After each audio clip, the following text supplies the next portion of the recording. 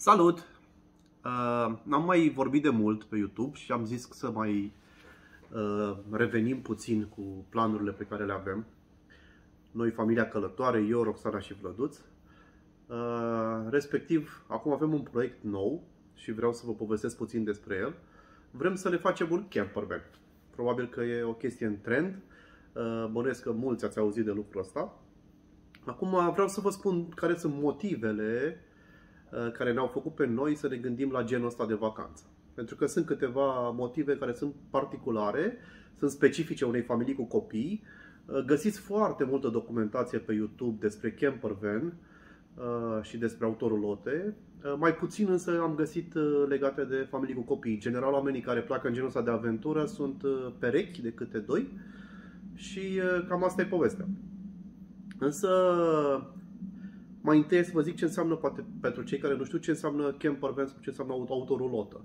În fapt e vorba de o mașină, de o chestie, de o, o mașină formată dintr-o bucată, o dubă, pe forma unei dube, uh, care este ori convertită, transformată dintr-o autoutilitară într-o astfel de, uh, într-un astfel de autovehicul folosit în vacanțe, sau există direct de cumpărat din fabrică camper van de fabrică, să spunem, sau autolotă de fabrică. Dimensiunile sunt uh, asemănătoare cu ale dubelor pe care le vedeți pe, pe stradă. Probabil că toți ați văzut în trafic uh, astfel de autorulote. Uh, diferența majoră față de rulote este că rulota trebuie neapărat tractată de către un autovehicul, pe când campervanul se autopropulsează, este, sunt două într-una, adică și mașină și rulotă, lucru care îți dă o mare, mare independență Uh, pentru că, pe de o parte, rulotele le poți parca sau cu rulota poți să campezi doar în campinguri special amenajate, special dedicate. Nu prea poți să intri în marile orașe din Europa, nu prea ai voie să circul pe diverse drumuri. Manevrabilitatea autovehicul plus rulotă este mult mai mică pentru că ajungi la o lungime a ansamblului format din mașină și, și rulotă de 8-9 metri, 10 metri uneori Uh, ceea ce îți face destul de, sau poate chiar mai mult, uh, ceea ce îți face destul de dificilă întoarcerea, să spunem, pe un drum care are o lățime mai mică de 7 metri sau de 8 metri. Uh, multe, multe drumuri, din drumuri sunt așa. Așadar, ești cumva limitat și din punct de vedere al drumurilor, dar și din punct de vedere al punctului terminus, punctului în care vrei să te oprești, pentru că cu autorulotă sau cu un camper van, Uh, poți să campezi, dacă are până în 6 metri și jumătate, să spunem, poți să campezi cam pe oriunde, să te oprești cam pe oriunde în Europa, în orice parcare. Ești exact ca un autovehicul. Uh, ăsta ar fi un, ar fi niște puncte. Un alt punct important uh, autorulotă față de mașină plus rulotă este că dacă vrei să traversezi insule sau să folosești feribot, Uh, atunci costurile sunt semnificativ mai mari dacă ești vehicul plus rulotă, pe când dacă ești autorulotă, uh, de obicei dacă ai până în 6 metri chiar, cum sunt uh, cele mai multe dintre rulote, autorulote, vei plăti mult mai puțin pe biletul de feribot. Ok. Astea fiind zise, să ghidem paranteza, cam asta este un, un campervan. Dotările dintr-un campervan sunt extrem, extrem de largi ca paletă. De la partea de, există campervanuri basic, care pot să conțină, eu știu, doar un pat, niște rafturi și un mic uh, aragaz de campanie uh, cu butelii de acelea micuțe de gaz de la, de la Decathlon, strict necesar, punct. Și există autorulote de lux care, care conțin baie, duș cu apă caldă, uh, chiar rain shower dacă vreți în unele dintre ele, uh, tot felul de frigidere cu congelatoare, bucătării complet utilate care au paragaz, cuptor, cuptor cu microunde, Uh, și așa mai departe, tot felul de spații de depozitare și așa mai departe. Deci plaja este foarte largă, e greu de spus ce înseamnă una sau alta ca, ca dotări, dar poți să pleci de la un pat și poți să ajungi până la o uh, mini garsonieră absolut complet utilată cu tot ce trebuie până la televizor cu plasmă, un LCD uriaș sau ceva de genul ăsta. Acum, uh, noi avem decizia asta de a pleca Uh, s-a, m-am luat-o dintr-un considerent sau din mai multe considerente care țin în primul rând de experiență și de vremurile pe care le trăim. Acum s-a dezvoltat foarte tare, în context pandemic, s-a dezvoltat foarte tare industria autorulotelor. Uh, nu neapărat asta ne motivează pe noi să plecăm, ci mai mult pentru că, repet, noi suntem o familie formată din uh, eu, Roxana și Vlăduț. Vlad, uh, băiatul nostru, are, are șase ani și ne dorim să-i oferim o grămadă de experiențe care să-i folosească în viață Uh, și care să-l uh, determine să crească frumos, uh, să fie fericit și așa mai departe. Cam ce trebuie să-și dorească un părinte de la copilul lui. Așa că primele motive pentru care ne-am decis spre, spre un astfel de proiect țin de, de vlăduț și aș, ca să fac așa un top 3 de motive foarte, foarte importante, primul ar fi, un motiv ar fi acela de experiențe pe care le putem oferi printr-o astfel de călătorie în Europa, în România, și dacă o să putem și o să fie totul ok, poate ieșim și din Europa, nu știu, dar nu contează. Deci într-un context lărgit în care te oprești în diverse locuri, explorezi foarte multe spații, orașe, civilizații, uh, moduri de a gândi și așa mai departe. Deci partea de experiență, să spunem, de călător. A doua uh, și chiar, poate chiar prima uh, pe prioritățile noastre sau ale mele, este că mi-aș dori foarte mult să-i generez lui Vlăduț o experiență de sustenabilitate, de a înțelege ce înseamnă resurse limitate. O astfel de excursie cu autorulota ă, te obligă, îl obligă pe copil să înțeleagă că apa este o resursă limitată și că noi avem în autorotă probabil vreo 80 de litri de apă și ăștia sunt toți că uh, curentul electric este o resursă limitată și că panoul solar pe care o să-l avem probabil pe, pe autorulotă generează un anumit uh, nivel de energie și peste acel nivel nu putem să, să trecem. Uh, că spațiul din autorulotă, evident, este unul limitat. Ai undeva între 7, 7 metri, 8 metri pătrați în tot, tot spațiul de, de locuit și asta înseamnă să reușești să-ți aranjezi lucrurile, să-ți iei uh, doar minimul necesar, uh, să te bucuri de fiecare centimetru și de fiecare obiect pe care îl poți avea cu tine, uh, să ai grijă să nu murdărești și să nu... Da? Deci toate aceste lucruri cred eu că sunt o contribuție foarte, foarte puternică la educația pe care mm, ar putea să o primească un copil de 6 ani. Mi se pare esențial să înțeleagă că nu totul este nelimitat, că nu îi se poate cuvin, cuveni orice, că nu ă, ne permitem absolut orice pe lumea asta și că, într-adevăr, trebuie să ne bucurăm și să apreciem la adevărata valoare ă, fiecare lucru pe care îl deținem. Ă, al treilea lucru pentru Vlăduț foarte important este partea de comunitate și de socializare Uh, pentru că, cu siguranță, în momentul în care intrăm în lumea asta de campervan, uh, o să găsim familii similare nouă uh, sau care gândesc într-un fel asemănător sau oricum oameni foarte interesanți.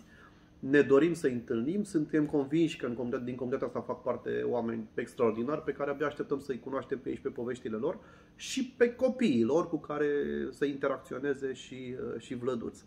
Dincolo de, de, de cele trei uh, motive care, pe care le-am enunțat și care sunt, uh, să spunem, dedicate lui Vlăduț, dar și nouă uh, înșine, în aceeași măsură, pentru că și noi ne dorim uh, experiențe și noi ne dorim să experimentăm această conștientizare a limitării resurselor uh, într-un mod uh, corect, pentru că poate că până acum nu am făcut uh, acest lucru și nu am conștientizat faptul că resursele pe care le deținem sunt uh, limitate sau am conștientizat, dar la nivel teoretic.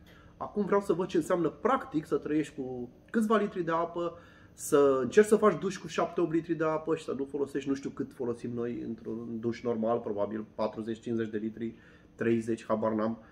Uh, să folosim patru farfurii și două cratiți și asta să fie tot ce avem ca resurse. Deci genul ăsta de, de provocare uh, nu neapărat mă duc în minimalism, pentru că nu ne dorim neapărat o viață spartană, o să revin și o să spun că la confort ținem în continuare, dar vrem să avem o altă abordare. Uh, acestea și, bineînțeles, socializarea cu alți oameni și cu comunitatea pe care abia așteptăm să, să o descoperim, acestea ne sunt specifice și nouă.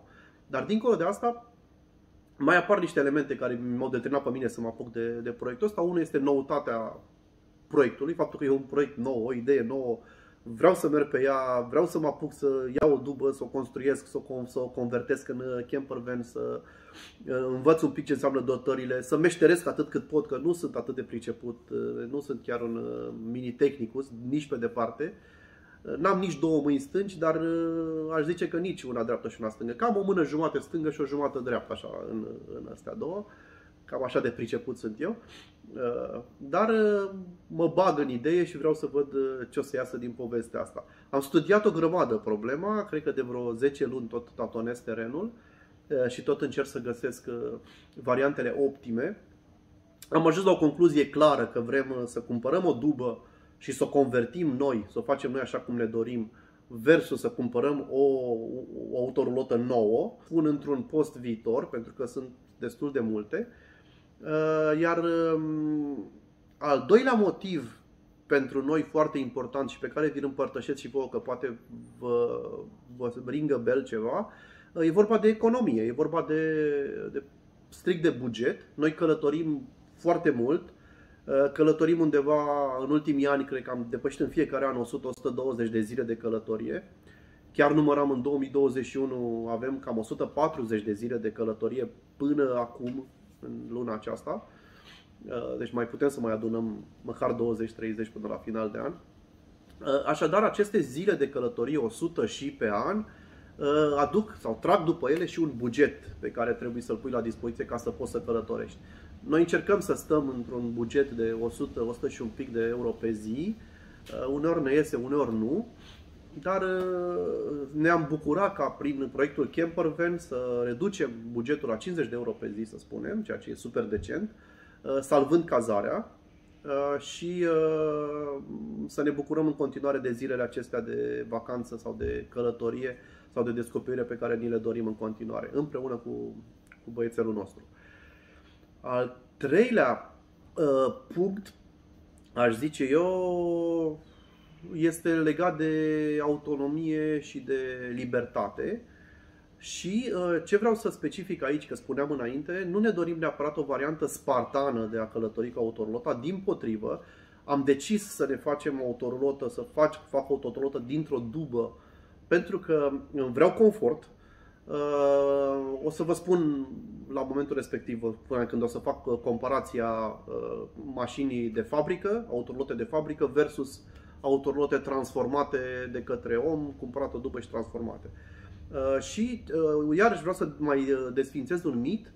Campingurile nu mai sunt nici pe departe cele pe care le știați sau pe care mi le amintesc eu din copilărie, cu dușuri insalubre, cu niște băi împuțite într-un colț și cu mult gunoi și cu corturi pestrițe peste tot.